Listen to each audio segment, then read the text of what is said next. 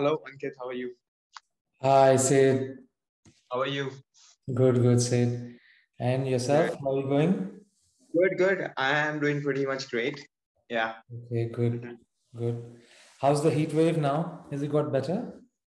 Yeah. Um, so we had a weekend game. So now I'm playing for the Premier League for the Manitoba. That is one of the topmost leagues. I just got my selection done last to last week, which I wasn't expecting at all. But yeah, but uh, but the selection committee saw my hard work, which I have put in, and they showed the trust in me, and I got the premier slot. So I'm pretty much happy for that. Yes. Yeah. Okay, good, Mhm. good, good to hear. Good to hear. I have your video already here, which you sent me via WhatsApp, yes. and we'll have a look at that video as well, and we'll go over your technique. I'll start, stop, start, stop the video, and we'll go through it step by step. I have already seen the video, so Okay. I, I already have in my mind uh, the things which I feel like you can work on. Let's have a look at your your uh, bowling action. Are you able to see that? Yes. I. Yeah. Okay.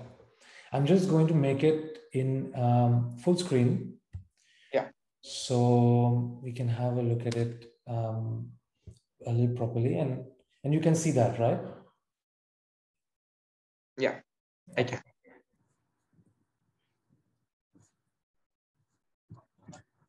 My initial thoughts were that you have your basics right. In terms of a spinner's accuracy Yeah. and a spinner's consistency, what I think it comes from consistent run up and a consistent point of release. Yes. Does that make sense? Yeah. It does. Yeah. So consistent run up means that you take the exact same run up every time, the same uh, or, or very similar angle that you Yeah. come in, and very similar point of release in the air, Right. height as well as the uh, distance from the umpire or distance from the stump.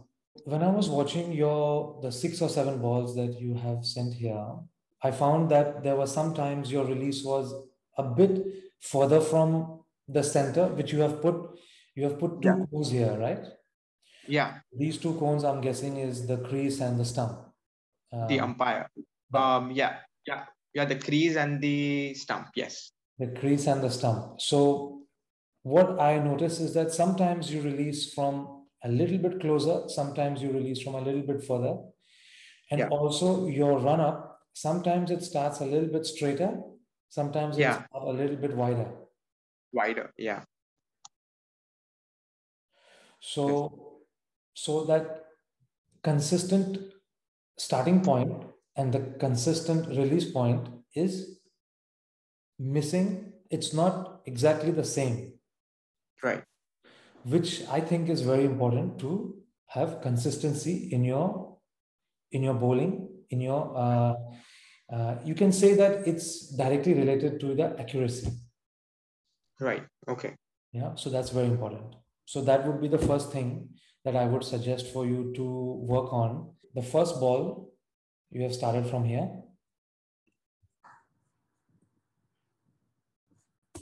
Okay. And you have released from here.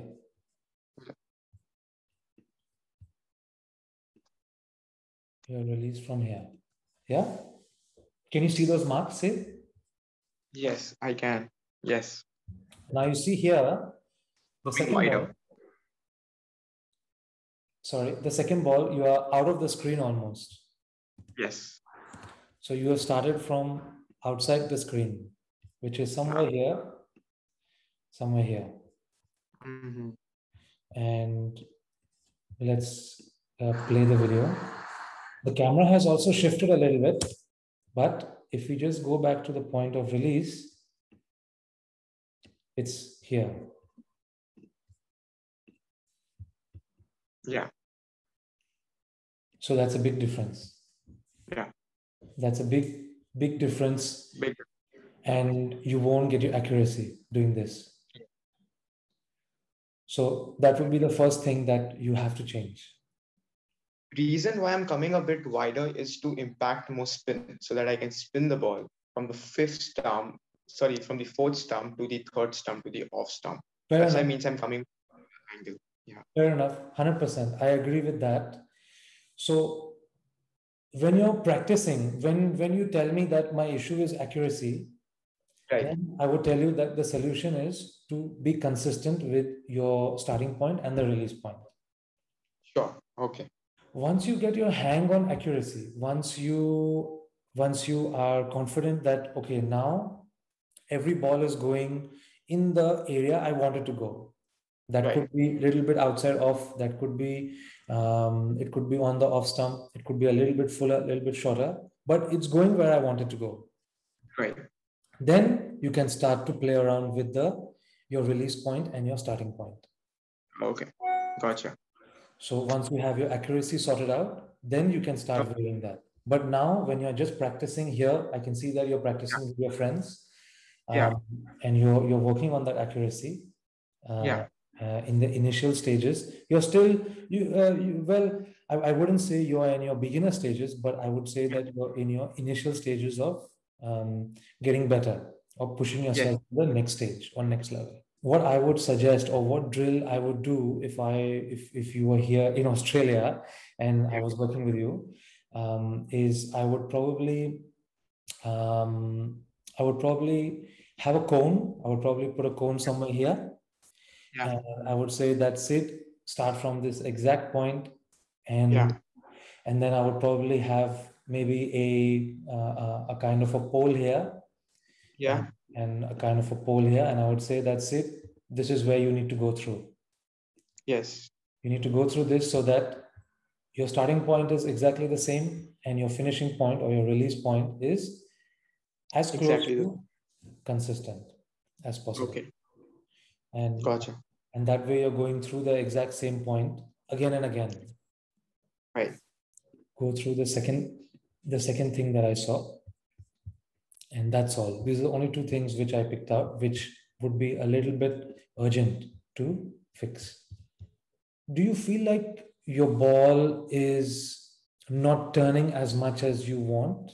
Or you are you are you happy with your turn? No, I want the ball to turn more. for a spinner to get additional spin very important is the rotation of the hips Right. so your your wrist spin or your finger spin is also there but Yeah. a rotation of the hips like this Yes. yeah does that make sense this one what i'm doing Yes. Yeah. so more of Yeah. like this like this spin Yeah.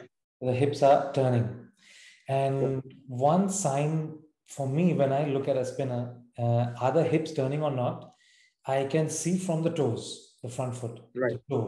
Right. so if if you see you can see the screen still? Yes. yeah. So right now you've landed your front foot and your front foot is pointing straight towards the batsman which is excellent. Yeah. Superb. now i'll just move it to the next frame. Okay. Now you've released the ball.